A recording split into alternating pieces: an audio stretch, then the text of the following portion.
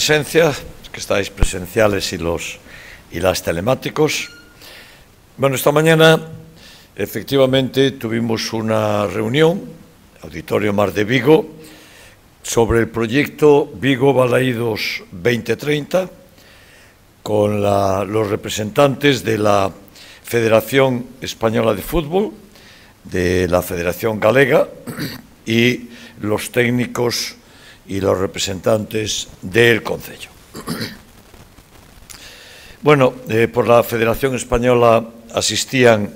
eh, seis personas, una parte el equipo técnico que, que viene de la Federación eh, Portuguesa, seis técnicos municipales, yo presidí la reunión,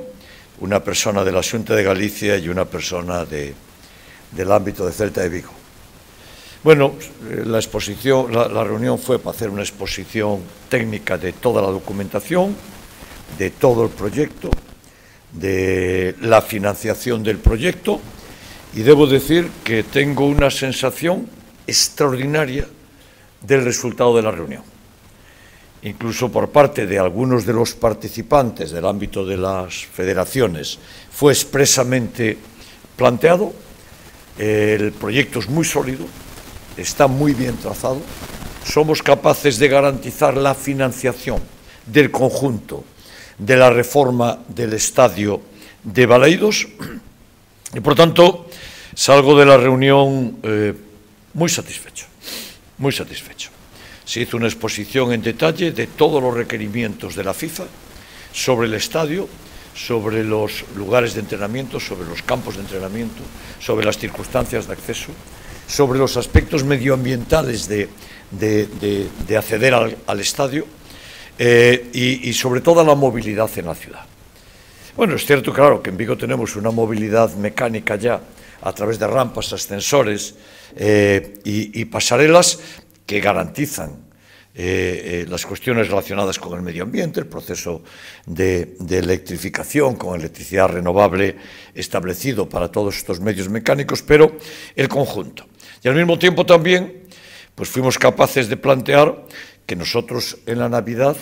ya somos capaces de atender a afluencias que superan en un día las 200.000 personas. En un día. Y que fuimos capaces de asumir desde la ciudad un momento, dos horas de llegada a la ciudad,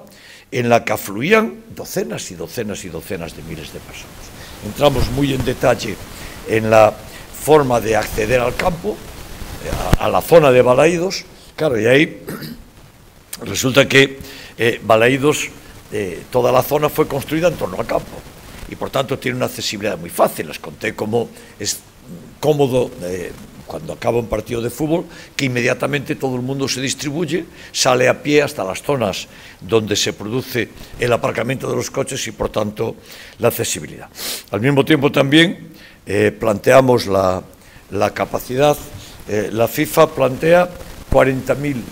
eh, asientos, un aforo de 40.000 netos, nosotros presentamos 41.500, pero dijimos algo más. Si la FIFA considera que el aforo mínimo tiene que ser más alto, nosotros estamos preparados para hacerlo. En consecuencia, eh, quedó todo, en mi opinión, y en opinión de muchos de los participantes, a, muy a satisfacción, porque las cuestiones que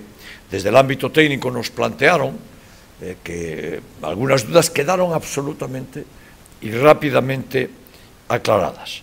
Bueno, mmm, hablamos de, los ámbitos también de, del acceso eh, a través de ferrocarril, ferrocarril de, de alta velocidad, porque es un modo muy respetuoso con el medio ambiente y, por tanto, Hablamos de las realidades y de los proyectos también de la alta velocidad, la estación de ferrocarril, la estación de Tom Main, el ascensoral o la forma de, conectividad, los, ámbitos eh, para los, espacios de entrenamiento y ellos solicitan dos espacios de entrenamiento con dos campos cada uno y allí lo planteamos, uno de ellos es el Corusio y al lado que construiremos el estadio de, del Corusio Ovao y, y, al lado que construiremos uno y el propio ámbito de las instalaciones deportivas de Amadrola, que tienen campos de fútbol municipales y que planteamos. Y al mismo tiempo, dos estadios adicionales que también eh, dimos respuesta y ya se los planteábamos eh, de forma, de forma eh, adecuada en la fórmula, por tanto, de responder a todos los requerimientos de la Federación. Creo que fue una reunión, y así fue reconocido por el presidente de la Federación Galega